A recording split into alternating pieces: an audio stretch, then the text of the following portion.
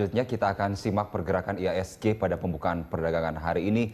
Kita bergabung bersama reporter Ardi Pramono dan juru kamera Muhammad Rinto dari Bursa Efek Indonesia. Iya, Ardi, bagaimana pergerakan indeks kita pada pembukaan perdagangan pekan ini dan sektor apa saja yang mempengaruhi pergerakan?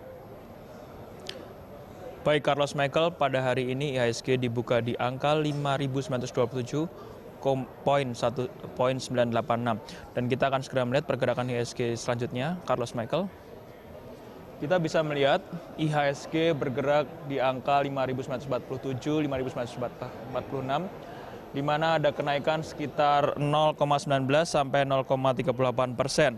Dan ini merupakan kenaikan yang cukup signifikan dan positif karena pada penutupan pada hari Jumat kemarin uh, IHSG ada di level 5.924.12 dan sempat melemah 0,04 persen atau sekitar 2,08. Sementara itu Carlos Michael untuk sektor-sektor yang naik antara adalah finance yang mengalami kenaikan 1 persen, kemudian di sektor mining naik 0,60 persen dan sektor properti naik 0,54 persen.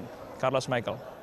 Ardi, lalu apa prediksi para analis terhadap pergerakan indeks hingga penutupan sore nanti? Ya, Carlos Michael, Reza Priambada dari Bina Arta Sekuritas menyatakan bahwa kenaikan dari ISG ini belum mampu bertahan karena adanya aksi jual dan ternyata penguatan nilai rupiah pun belum terlalu berefek jangka panjang pada penguatan IHSG.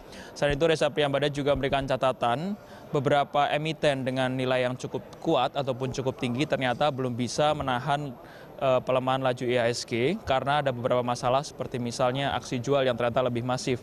Sementara itu dari sisi teknikal, Reza Priyambada mengatakan MACD menunjukkan uh, pola golden cross positif, kemudian dari stokastik dan RSI menunjukkan adanya uh, ada di area netral. Sementara itu dari candle terlihat ada pola pin bearish pin bar candle yang menunjukkan adanya potensi koreksi sehat.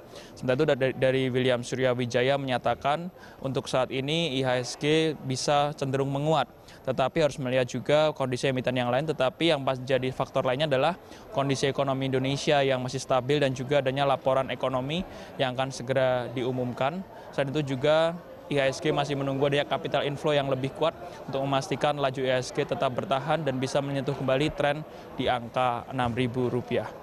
Demikian Carlos Michael. Terima kasih Ardi atas laporan Anda teman-teman di Bursa Efek Indonesia. Terima kasih.